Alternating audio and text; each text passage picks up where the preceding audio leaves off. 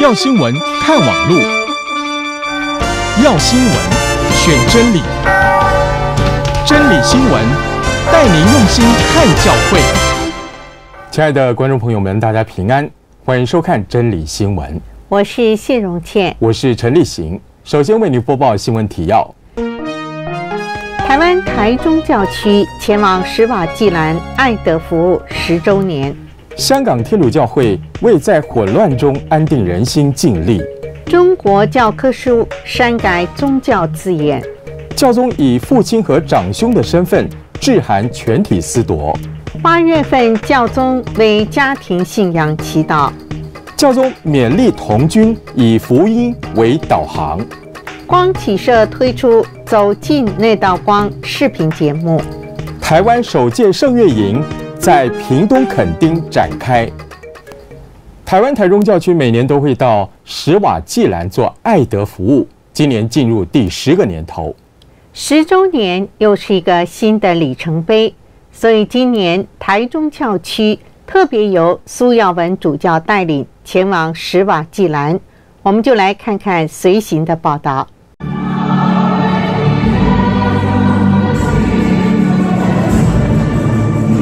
台中教区志工服务团在教区大家长苏耀文主教的带领下，七月底来到非洲南部内陆国家史瓦济兰。这个国家有一百二十几万人口，百分之二十信奉天主教。但由于经济的落后，加上感染疾病人数众多，平均四个人当中只有一个人可以活到四十岁。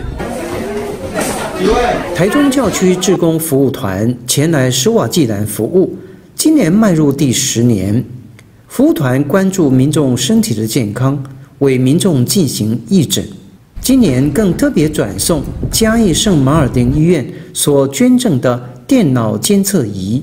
电动病床等器材。随后，苏主教特别来到希望之家，探望艾滋与癌末的病患。In one of us, we need such uh, this kind of hope. God loves us, so we are in the same journey to the to to to our Lord.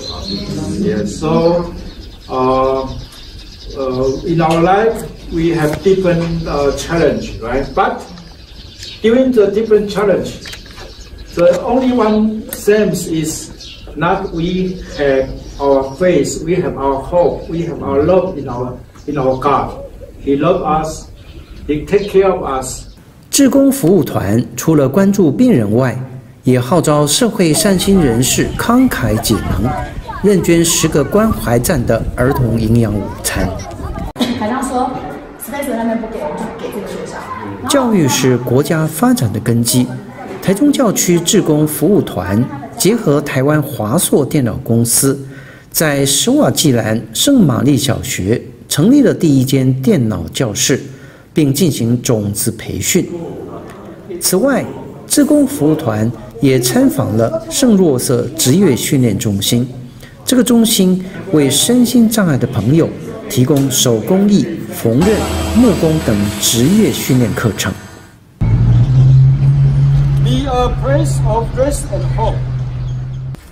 台中教区志工服务团结束一星期的参访与服务，最后在曼基尼教区主教座堂举行主日弥撒。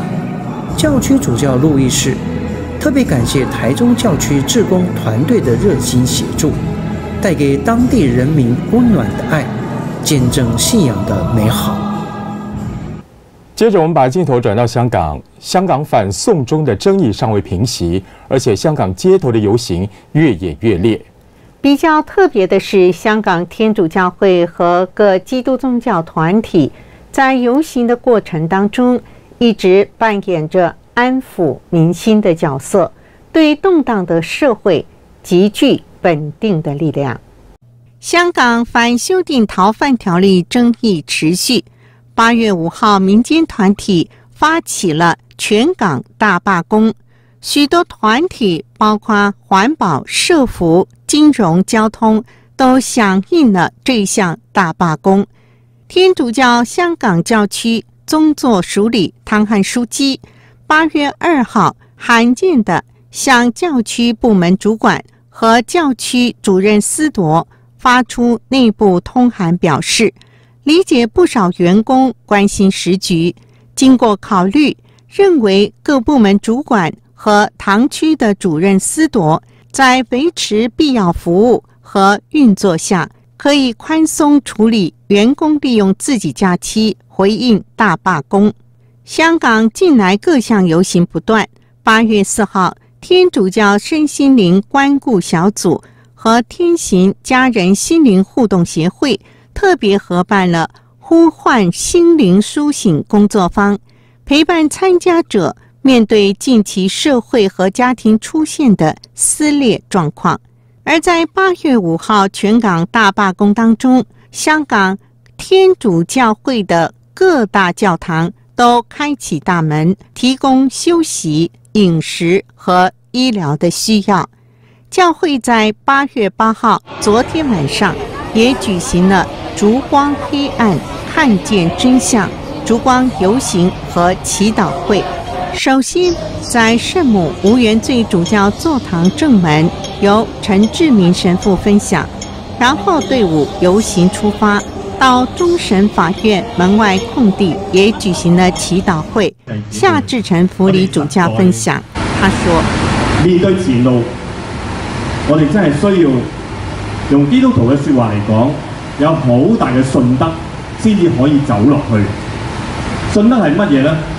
信德就係剛才我哋所聽到嘅嗰一段希伯來書所講嘅，希望之事嘅擔保，未見之事嘅確證。”今天由教友自行发起的“与主同行，其上其落”祈祷会，希望能够为香港带来平安。中国大陆媒体最近传出了国内小学教科书中不得出现“上帝”和“圣经”等字眼，学者以及宗教的信徒批评当局相关的做法，担心会扼杀小孩对事物的认知和思考。由人民教育出版社发行的六年级语文教材，包括几篇海外作家的作品，例如《卖火柴的小女孩》《鲁滨逊漂流记》《万卡》。这些作品当中与宗教有关的词汇被删改了。例如，安徒生的《卖火柴的小女孩》内容中提到，当星星落下时，灵魂与上帝同在，却被改成。当一颗星星落下时，这个人就离开了这个世界。另外，《鲁滨逊漂流记》中将失事船上的三本圣经改成几本书。万卡作品当中也将“基督”这个词汇删除。一位长期关注基督宗教文化学者对于当局这样的做法，他表示：“这是中共从拆除教堂及十字架。”阻止未成年人进教堂的实体行动，转为思想屏蔽及控制。要想从思想上彻底删掉基督宗教符号，令他们在中国毫无空间，从而达到消灭基督宗教的目的。今年是纪念本堂神父主保圣贝亚内一百六十周年，教宗方济各特别以痛苦、感谢。勇气和赞美四大幅度，用一封信的方式和全体司铎分享为天主子民服务的辛劳和喜乐。八月四号是圣维亚内神父逝世一百六十周年的纪念。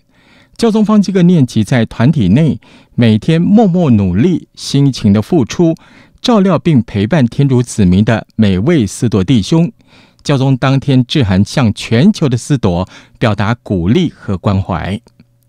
信函中，教宗以痛苦、感谢、勇气和赞美四个要点为主要内容，劝勉所有司铎面临困境不要气馁，并长存感恩之心，不间断的安慰关怀受苦者，在奉献生活中以生命的见证传递耶稣的喜乐、怜悯与慈悲。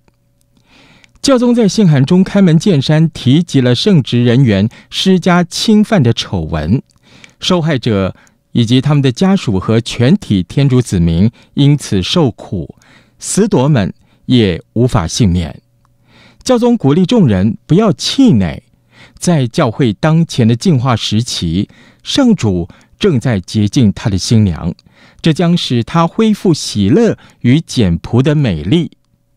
另外，教宗也提到了，当斯铎陷入难以自拔的悲伤之际，唯有懂得默观并感谢，我们才能让圣神赐予我们更新生命和使命的新鲜空气。因为感恩始终是强而有力的武器。对于勇气，教宗坦言，我们蒙召从事使命，并不意味着我们对悲伤、痛苦，甚至是误解免疫。面对痛苦，更要勇敢兼顾自己与耶稣、与同伴、与子民的关系。最后，教宗谈到了赞美，不断让感恩激发赞美，再次鼓励我们继续未完成的使命，怀着希望带领我们的弟兄进入基督的爱内。教宗方济各二零一九年八月的祈祷意向是家庭。教宗认为，我们希望留给未来。是一个怎样的世界呢？教宗祈求，愿我们留下一个有家庭的世界。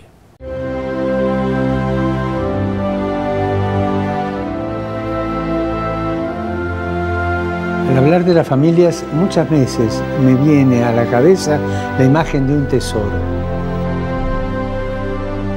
El ritmo de la vida actual, el estrés, la presión del trabajo, y también la poca atención de las instituciones puede poner a las familias en peligro. No es suficiente hablar de su importancia. Es necesario promover medidas concretas y desarrollar su papel en la sociedad con una buena política familiar. Pidamos para que las grandes opciones económicas y políticas protejan a la familia como el tesoro de la humanidad.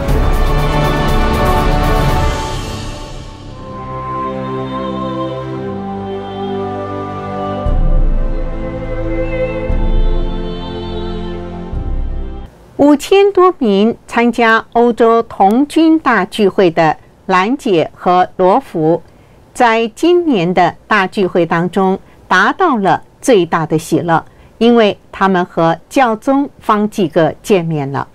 二零一九欧洲童军大聚合完成了和欧洲不同地区的交流，与会童军跟随圣人的足迹走向罗马。在旅途当中，他们勇于冒险，信赖天主，为实现更大的梦想踏上美好的旅程。八月三号。他们在梵蒂冈保禄六世大厅觐见教宗。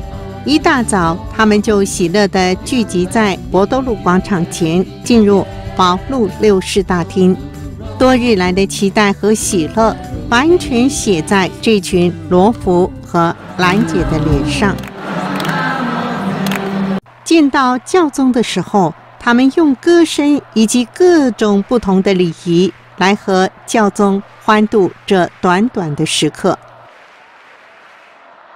教宗劝勉参加欧洲童军聚会的青年说：“切莫满足在电视前虚度光阴，别相信生命是下一个有待下载的娱乐应用程序。”教宗强调，福音是人生道路的真正导航。他表示，在贪得无厌的社会里，拥有使人心变得沉重而庸俗；给予则使心灵变得轻快。意味着要离开舒适的环境，踏上旅途，带给世界一些美善。教宗对童军青年说：“你们要相信耶稣。”他说完你们给以后，还说。也就给你们，天主是父亲，所以他愿意把最好的给予你们。生命的奥秘就在于给予，唯有付出生命，才能获享生命。万物受造，就是为了使我们与天主相连，使我们相互连结。教宗最后勉励青年选择给予的道路，成为活耀的公民。以介绍台湾天主教堂信仰和建筑之美的电视节目《走进那道光》，八月四号在台北圣家堂举行首映会。圣家堂主任司铎饶志成神父表示：“天主不仅在美丽的教堂，也在你我的心中，因为我们都是天主的教堂。”由光启社所制作的《走进那道光》节目，总共有十三集。第一集介绍台北市圣家堂。制作团队跟我讲说，整个节目会是从设计师的角度来看待建筑、看待美学、看待整个教堂之间的美感。所以，整个教堂的这种美学的去探究，还有看文化之间的融合，我觉得非常非常的精彩。比如说，呃，建筑之美好了，这个教堂会有不同的神父或地方的耆老。带我去认识教堂的每一个细节，包含有些教堂的十字架，它的这个彩绘玻璃啊，它特殊的装饰图腾啊，每一件事情都可以和文化连接在一起。我觉得这是在美学上很特别的一些符号。圣家堂本堂神父饶志成观赏影片后说：“天主也在，不只是在那个是三个教堂里头而已，也在你内，也在我内。所以在介绍这十三个不同的教堂的时候，我们会看到好美哦。”好美的时候，我们会赞美啊，天主你真美真好。可是也别忘了赞美我们自己，你我也是天主的教堂，天主也会在你内，在我内表现出来他的美，他的好。介绍教堂之美的《走进那道光》节目，将在八月十二号开始，每个星期一在光启社的 YouTube 频道播出。由天主教台湾地区主教团礼仪委员会圣乐组主办，光启社、真理电台和圣若望使徒会协办的天主教第一届青年圣乐营，从八月九号到八月十一号，在垦丁天主教中心举行。真理新闻主持人谢荣倩前往现场采访，接下来我们来看看她的报道。我们现在呢，来到台湾最炎热的南台湾。我现在背后呢，就是垦丁天主教中心，台湾地区主教团礼仪委员会的圣乐组，八月九号到十一号，特别在这儿开了第一届的青年圣乐营。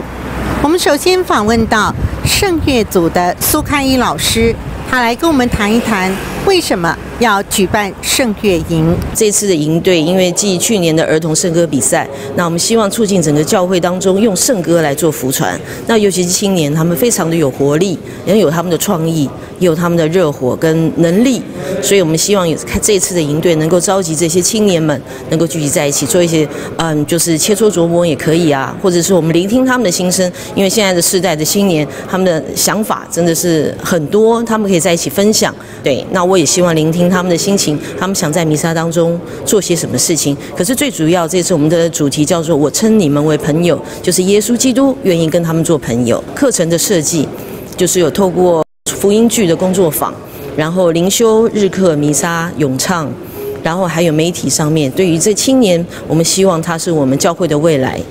第一届的青年圣乐营，以《若望福音》第十五章第十五节：“我称你们为朋友。”为圣乐营的主题，希望透过晨祷、弥撒以及各种音乐研习，能够拉近主耶稣和青年朋友的关系。同时，在十号晚上还有一场热闹的音乐会，把圣乐推荐给所有的朋友们。有关圣乐营的后续，我们会接续的为您做报道。现在我们把镜头交回棚内。紧邻印度的国家巴基斯坦，百分之九十五以上的居民信奉伊斯兰教。天主教虽然是少数，但在拉哈尔教区最近举办了音乐歌唱比赛，吸引不少的年轻人展现他们的歌唱才华。在新闻的最后，我们一起来欣赏他们的演唱。这里新闻，我们下周再会。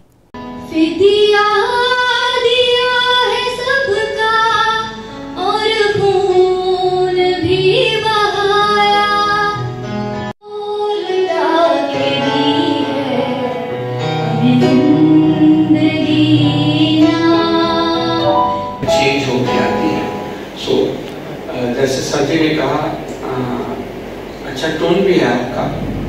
लेकिन अभी शायद ज़रूरत है कि आप मज़ीद सीखें।